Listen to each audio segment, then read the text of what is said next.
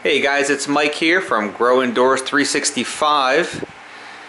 I want to show you the latest update on what's currently going on inside the grow tent. So the last time I came to you guys was Friday, November 4th.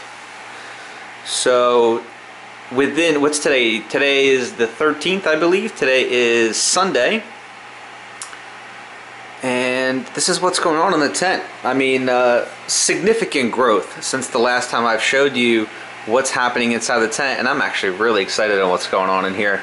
Everything's looking beautiful. Everything's looking perfect. Let me actually just brighten this up a little bit for you guys. There we go. So, I mean, take a look at those guys. That's awesome here. I'm to, gotta do it a little bit like that.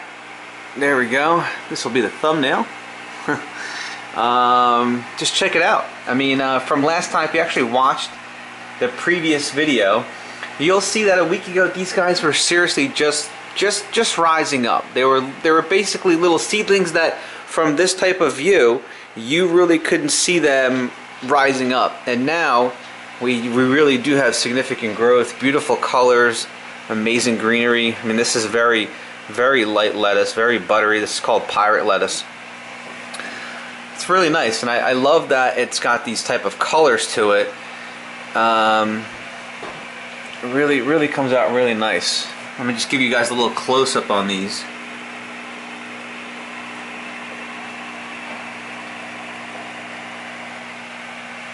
Let's take a look um, what's going on in the roots. They're looking pretty good. I haven't fed the roots in, um, in a little bit and actually you can actually see, you see that green line?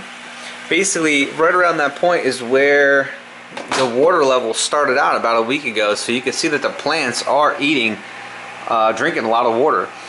You'll always have these little like runts okay? Just like this where for whatever reason either they're inside of the reservoir they're just not getting enough oxygen or I'm not sure what happens. But time to time as it's actually interesting. Top left right here top left right here. And uh, I believe you know I, I, can't tell if let me see here. Can't tell if this is my no this is not even my my my newest reservoir but time to time because the way that the holes are created it basically kind of like divots in. And um, when you actually pick this up as you can see very minimal root growth there. Everything else is supreme root growth. As you can see even right in the middle part where a lot of the oxygen is coming off you have significant root growth but overall sometimes these top ones right here just don't work out. But as you can see, I have a lot of pirate lettuce. I kind of went overboard on the pirate lettuce here. Then we have three more back there.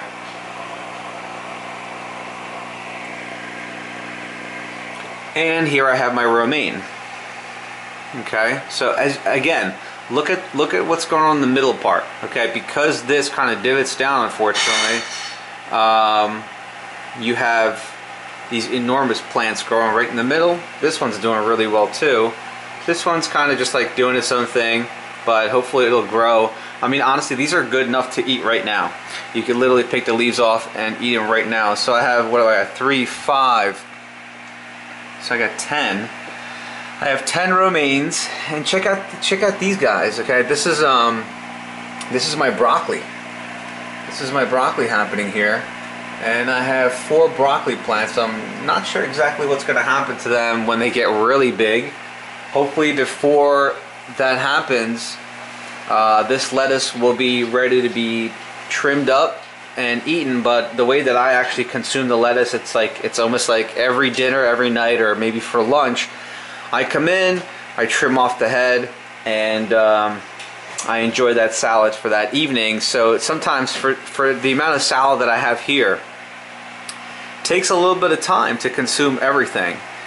Not as easy as you guys think, but you could also juice with it. It's really nice. Plenty of water in them for a good juice, but uh, I'm actually really excited just to see how the broccolis come out. And I'm really, really excited to start out. Uh, I have some uh, watermelon seeds that I'm going to be doing, so literally I will be um, growing some watermelon. Maybe I might, I might even have to get a different tent. And uh, for everybody that's currently out there that's been asking me regarding the new website with the lighting, with the reservoirs, with the tents and anything else, it's coming. Um, everything is coming. We're getting everything set up. We're getting the store set up. Just got to get the items onto the store, and uh, you know, you guys could check that out and go from there. And um, you know, happily, if, if you if you want to schedule a consultation regarding your current space and what you're looking to achieve, and uh, I'll let you know exactly what you need to minimal uh, to minimize your spending, but to also achieve the greatest possibility of growth within whatever uh, growing area you have. So as you can see here, I have seven beautiful cucumber plants. All right, let me give you actually a closer look. Let's actually take a look at the at the root system here. They're doing okay. Not too crazy. But again, these are these might be like two weeks old. You know, um, sometimes they just get a, a slower head start, but uh, once they really get going, like in the next two weeks or a week, they really start to uh, thrive. Um, but overall, they're doing really well. I mean, you have uh, multiple sets of leaves already. Let's get a closer shot here. Multiple sets of leaves. And uh, from right here, I mean, basically this is the initial bud. Let me show you right there. This is the initial bud this will start stemming out and that's where the growth process begins and then you'll start having these like little little thin uh, arms that'll start reaching for the sky. I might actually, what I'm going to do is I'm probably going to take this one light here and add it to, to this area just so we're uh, really maximizing the light activity down here below because I think just one light with two bulbs is just not enough uh, spectrum for the cucumbers because they do need, they require significant light to really develop well. So there you have it. That's that's the current status from one week. I mean, if you guys didn't know what it looked like prior to today, uh, look back into the channel. Look back into the previous video that was uploaded, which was November 4th, and you'll understand of what's been, uh, you know, what's been happening and how the plants have been developing really happy about how they're actually developing. They're looking really, really good. And uh, if you guys have any questions or comments, make sure you leave me a comment down below. Happy to uh, discuss whatever questions you might have.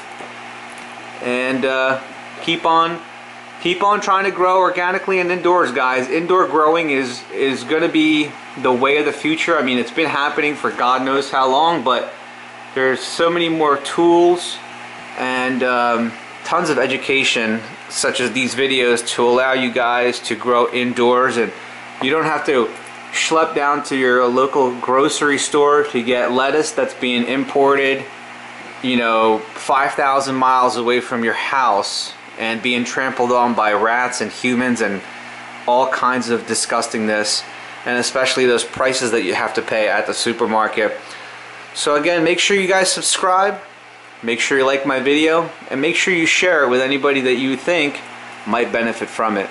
Talk to you guys soon.